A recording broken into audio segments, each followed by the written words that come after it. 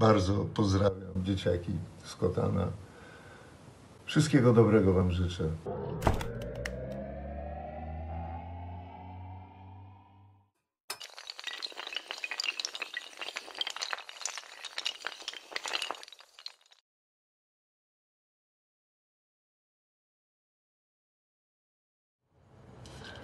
Dzień dobry. Bardzo serdecznie, gorąco witam Was. Chciałbym przeczytać Wam bajkę Juliusza Słowackiego pod tytułem O Janku, co psom szył but. Było sobie niegdyś w szkole piękne dziecię, zwał się Janek. Czuł zawczasu Bożą wolę, ze starymi suszył dzbanek. Dobry z niego byłby wiarus, bo do książek nie czuł smaku. Co dzień stary bakalarus łamał wierzby na biedaku. I po setnej, setnej próbie rzekł do matki: Oj, kobito, twego Janka w ciemię bito, nic nie wbito, weź go sobie. Biedna matka wzięła Jana, szła poradę do plebana. Przed plebanem w płacz na nowo, a księżulo słuchał skargi i poważnie nadał wargi. Po ojcowsku kiwał głową.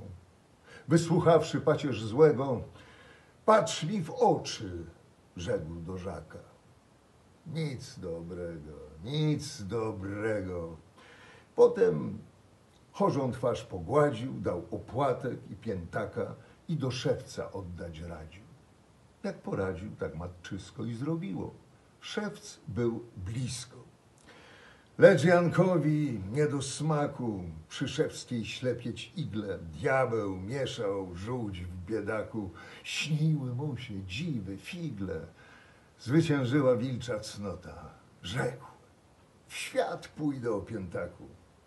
No i tak jak był chota, przed terminem rzucił szewca i na strudze do królewca popłynął.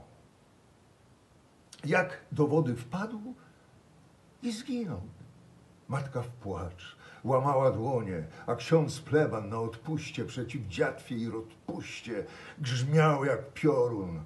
Bogobojna trzódko moja, bądź spokojna, co ma wisieć, nie utonie. Mały Janek, gdzie się chował przez rok cały, zgadnąć trudno. Wsiadł na okręt i żeglował i na jakąś wyspę ludną przypłynąwszy wylądował.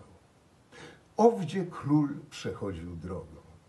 Jaś pokłonił się królowi i dworzanom i ludowi, a kłaniając szastał nogą tak układnie, że król stary włożył na nos okulary. I wnet tymże samym torem, dwór za królem, lud za dworem, powkładali szkła na oczy. Owóż król ten posiadł sławę, jakoby miał wzrok proroczy. I choć stracił oko prawe, tak kunsztownie lewym władał, że człowieka zaraz zbadał, na co mierzy, na co zdatny, czy zeń ma być rządca kraju, czy podstoli, czy też szatny. Lecz tą razą, wbrew zwyczaju, król pan oczom nie dowierzał. Czy Żak Janek na tancerza, czy na rządcę dobry kraju?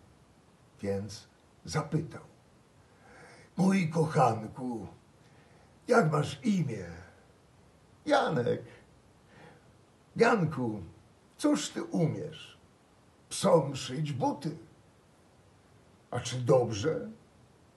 Oj, tatulu, czyli raczej panie królu, jak szacuję, ręczyć mogę, że but każdy ostro kuty i na jedną zrobię nogę, e, czyli raczej na łap dwoje. To na zimę. Z letnich czasów but o jednym szwie wystroję. Na opłatku bez obcasów, a robota takiej wiary, że psy puszczaj na moczary, suchą nogą przejdą stawy. Masz więc służbę, złotem płacę, rzekł do Janka pan łaskawy i za sobą wiódł w pałace.